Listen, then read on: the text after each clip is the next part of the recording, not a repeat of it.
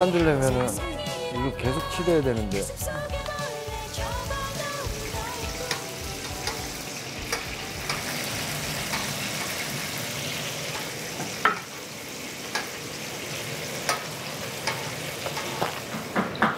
진짜 떡갈비 별거 아니라고 생각했거든요. 약간 뻐, 뻐가 그냥 뻐가가 지 생각했는데 그거 아니더라고요, 진짜.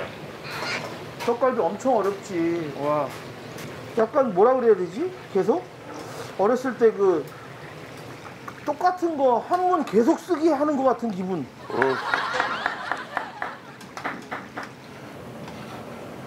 와 눈이 너무 아프다. 음, 기름 때문에. 어. 아. 프라이팬만 있는 거 해보자. 어.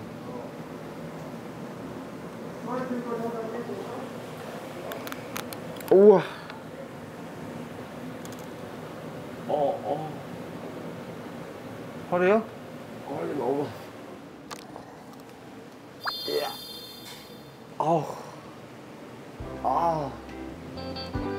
와.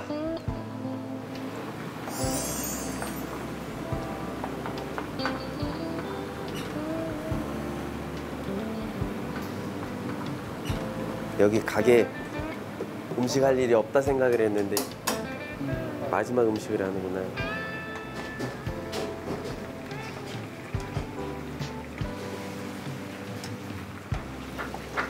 마지막 마지막 세 알 남았어요. 세 알이에요.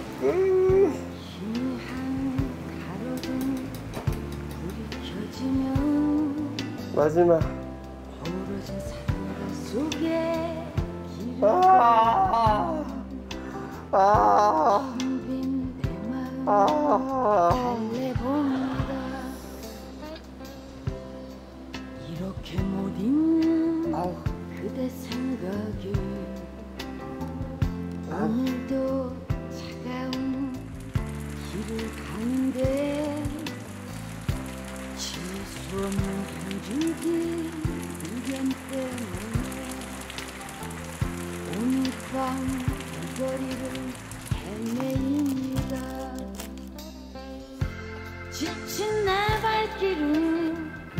그대 찾아서 포근히 잠든 그대 모습 그리며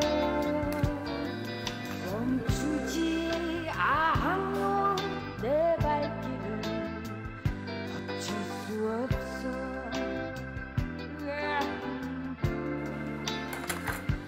어쩔 수 없어 가지치기를 이렇게. 김치볶음만 두 개 들어가고 떡갈비는 안 들어갈 수도 있겠어.